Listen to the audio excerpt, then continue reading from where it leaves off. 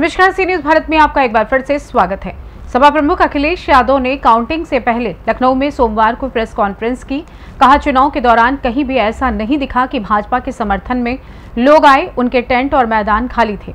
इतना ही नहीं, उन्होंने कहा कि सामाजिक रूप से भाजपा ने देश में सौहार्द, बिगाड़ा व भाईचारा खत्म किया।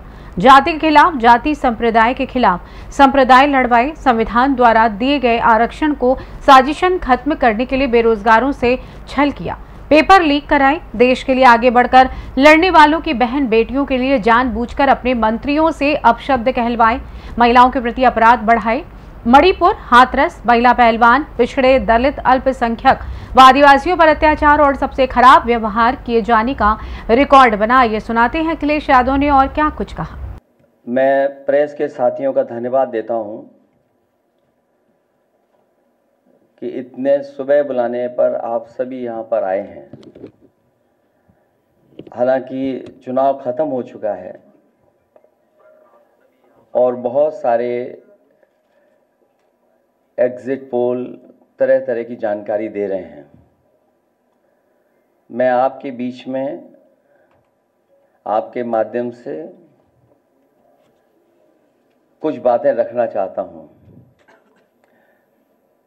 मैं शुरुआत करता हूँ कि जितनी ऊंचाई पर जाकर कटती है पतंग,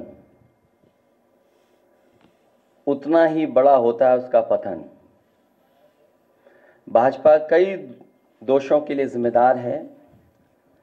सामाजिक रूप से भाजपा ने देश में सौहार्द बिगाड़ा व भाईचारा खत्म किया, जाति के खिलाफ जाति, संप्रदाय के खिलाफ संप्रदाय लड़वाया संविधान द्वारा दिए गए आरक्षण को साजिशन खत्म करने के लिए बेरोजगारों से छल किया, पेपर लीक कराए, देश के लिए आगे बढ़कर लड़ने वालों की बहन बेटियों के लिए जानबूझकर अपने मंत्रियों से अपशब्द कहलवाए बढ़ाए मणिपुर हाथरस, महिला पहलवान, पिछड़े दलित, अल्पसंख्यक व आदिवासियों पर अत्याचार और सबसे खराब व्यवहार किए जाने के लिए रिकॉर्ड बना।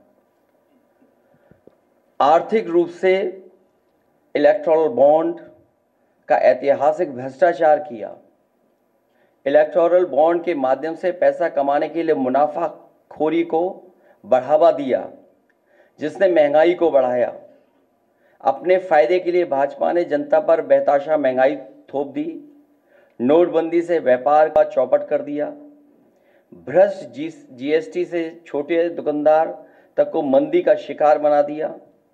किसानों की ज़मीन हड़पनी चाहिए, काले कानून लाने चाहे खाद की, बोरी की, चोरी की, लाभकारी मूल्य नहीं दिया, पैंतीस सालों की सबसे बड़ी बेरोजगारी में देश को धकेला, महँगाई से गरीब को और गरीब बना दिया, अमीरों के, अरबों के लोन माफ़ किए, लेकिन किसानों के ऋण के लिए, आत्महत्या के लिए मजबूर किया ब्याज की दरें घटाकर मध्यम वर्ग की बचत को बेकार कर दिया।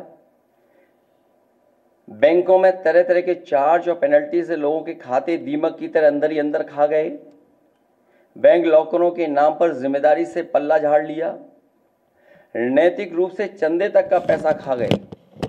केयर फंड के देखा जाए तो एक तरफ़ जहाँ कल लोकसभा चुनाव के परिणाम आ रहे हैं तो वहीं आज अखिलेश यादव की ये प्रेस कॉन्फ्रेंस कई मायनों में खास रही। फ़िलहाल के लिए इस खास रिपोर्ट में बस इतना ही। देश दुनिया की तमाम खबरों की जानकारी के लिए बने रही है सी न्यूज़ भारत के साथ। हर खबर आपके साथ, आपके हाथ।